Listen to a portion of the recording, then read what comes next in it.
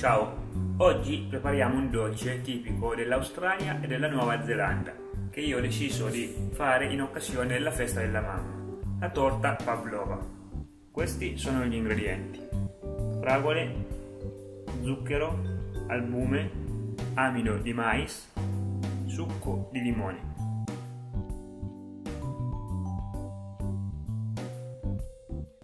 Per restare sempre aggiornati sulle mie ultime video ricette, iscrivetevi al mio canale YouTube.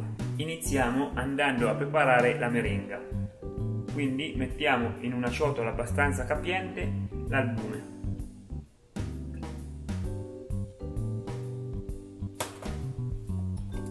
E usando le fruste elettriche andiamo a sbatterlo.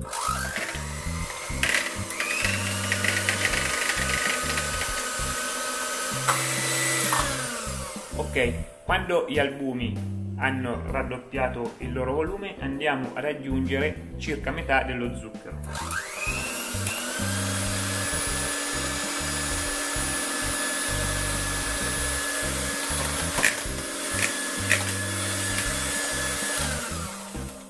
cercate di eh, utilizzare lo zucchero che sia il più fino possibile in modo che si sciolga completamente all'interno della meringa.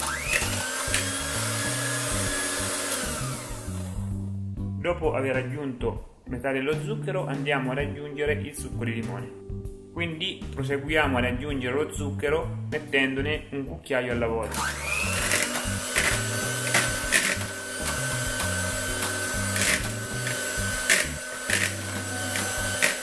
Quando la meringa è ben montata andiamo ad aggiungere l'amino di mais.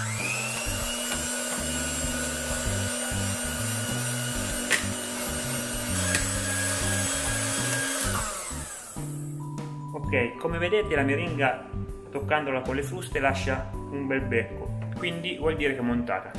Ora, una volta preparata una placca da forno con della carta staccante, andiamo a mettere la meringa nel sacchetto da pasticcere. Ora andiamo a formare un disco di circa 18 cm sopra una placca con carta da forno. Questa sarà la base della torta pavlova. Per realizzare un disco più preciso potete anche eh, fare una sagoma con forno.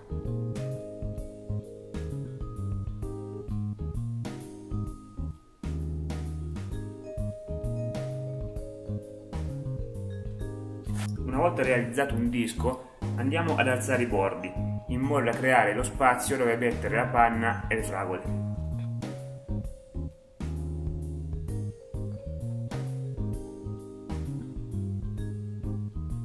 Questo punto inforniamo la base con forno preriscaldato a 110 gradi.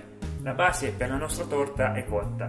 Io l'ho tenuta in forno per due ore, quindi l'ho lasciata raffreddare all'interno dello stesso forno. A questo punto si può andare a montare la panna.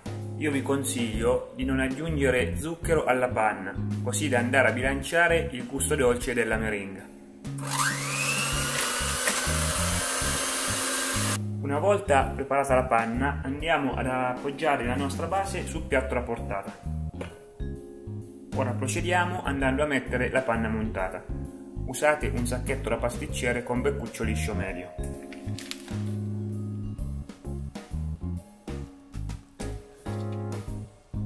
Quindi andiamo a realizzare una composizione di fragole sopra la panna montata.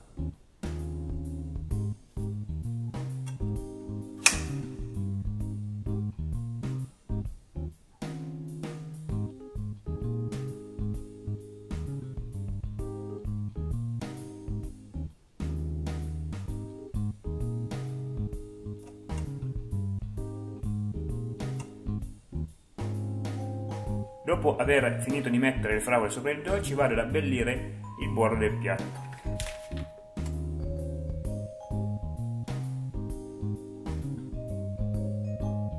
Per dare un ulteriore tocco di colore al dolce vado a mettere della menta.